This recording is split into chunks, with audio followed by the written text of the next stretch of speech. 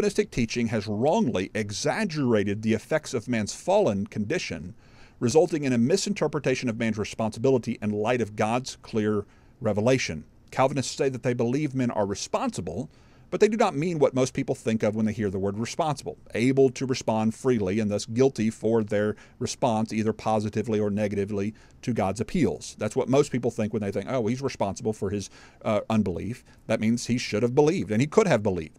But when a Calvinist says responsible, what they mean is that they're, they're punished anyway, even though they were born unable to respond.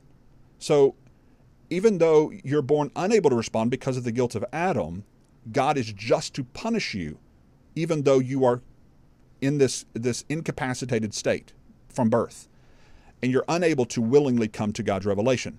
They do not mean that mankind is morally capable of responding to God's appeals to be reconciled from their fallen condition, as what we see implied in, in 2 Corinthians 5.20 and John 3.16 and, and so many other passages that we could go through.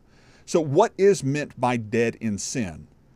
See, Calvinists insist that man is born dead in sin and therefore corpse like in his abilities to respond to God's life giving truth. Therefore, according to their logic, God must bring the corpse back to life so that he will certainly believe in God's revealed truth. But is this what the scripture actually teaches? Is this what it actually says? Because the concept of this idiomatic use of the word dead throughout scripture never is implied or explicitly taught to mean incapable of responding to God in his life-giving truth.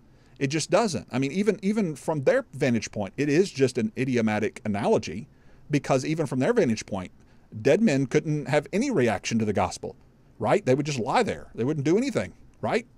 Well, obviously, uh, unbelievers or unregenerate man do rebel against God and speak out against the Bible a, corpse, a true corpse, couldn't do that. A corpse couldn't reject and be vehemently opposed to the gospel either. So the fact that he's t- talking about deadness, what does deadness mean in the scriptural context? Well, it means separation. It means like the, the, the, the prodigal son was lost, but now he's found. He was dead, he's now alive. It means he was separated from his father in rebellion. That's what deadness is talking about. It's just like the church in Sardis in Revelation chapter 3. He calls them dead and he says, Wake up. Does that mean they can't wake up? They can't respond? They can't humble themselves? They can't repent of their, their error? No, he's saying that you're dead, meaning you're in separation from me because of your rebellion. So throughout the New Testament, we see this concept, this idiomatic use of the word dead, and it never means incapable of responding willingly to God, or it's not a removal of man's responsibility in light of God's revelation. It never is meant to uh, connote that.